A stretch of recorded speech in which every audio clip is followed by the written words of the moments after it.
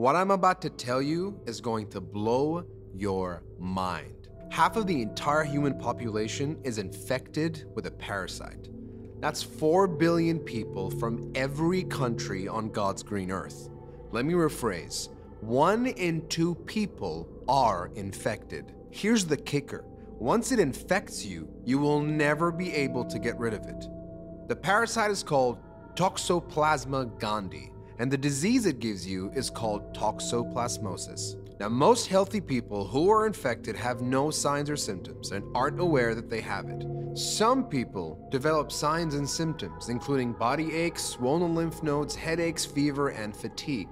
People with weakened immune systems who have AIDS, are receiving chemotherapy, have had an organ transplant, they develop more severe symptoms. Seizures, lung problems, inflammation in the retina, confusion, poor coordination, it can even lead to death.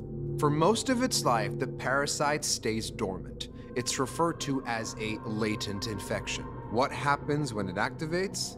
It's been associated with numerous subtle, adverse, pathological behavioral alterations in humans. What does that mean? The parasite changes your behavior and your personality, leading up to neurological disorders, particularly schizophrenia and bipolar disorder. It's altering the human mind. Don't believe me?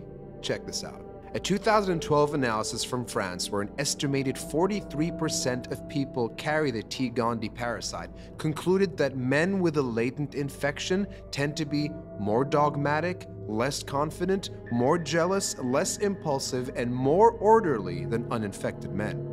Infected women seemed warmer, more conscientious, more persistent, more insecure, and more sanctimonious. Czech researcher Jaroslav Flegr from Charles University in Prague says the infection made men more likely to withdraw, to become hostile or antisocial. Infected women, on the other hand, seek solace through social bonding and nurturing. They're inclined to tend and befriend. Several studies have looked into the correlation between T. gondii and the prevalence of patients with neurodegenerative illnesses such as Parkinson's and Alzheimer's disease and overall cognition. Results on causation are mixed, leaning to non causal. However, correlation data is undeniably high. Cases of suicide, obsessive compulsive disorder, drug abuse, personality, and anxiety disorders have been reported to involve the parasite more than control subjects without it. If you think this shit is crazy now, we haven't even gotten started. Every organism has a life cycle, and this is what the T. gondii looks like. It reproduces inside the intestines of a cat. The cat sheds the parasite in its feces. The feces contaminate everything around them. Rats aren't picky eaters, so they end up ingesting contaminated food or water. The parasite takes up residence in the rat's brain. And once the rat gets eaten by a cat, it starts the cycle all over again. Cats in this situation are not an example. In fact, cats are an integral part of the reproduction cycle of T. gondii because it can only reproduce sexually inside the gut of a cat. There is no other creature on the entire planet that can propagate this parasite through sexual reproduction. Cats are the definitive host. Ready for one more mindfuck? Evolution teaches us that rats run from cats predator, prey. The way rats do this is by detecting cat pheromones. Rats infected with toxoplasma can't resist cat pheromones.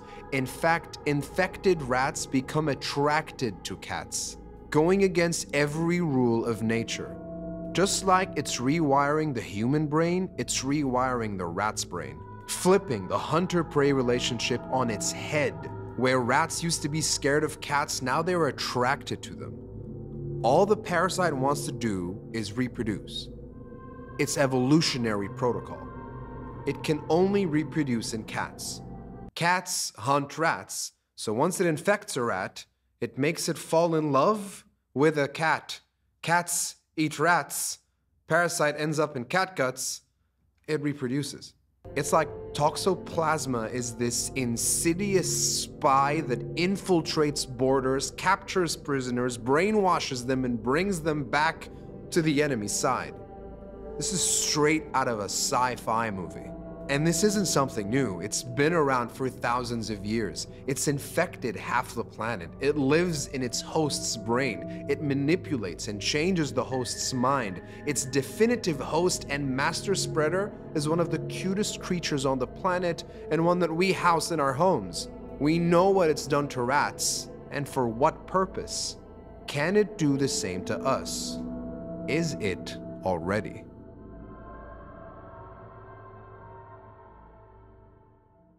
Thank you so much for watching this video. If you like our content and you'd like to support us, you can do that by liking, commenting, subscribing, and turning notifications on. And if you did not like this video, let us know.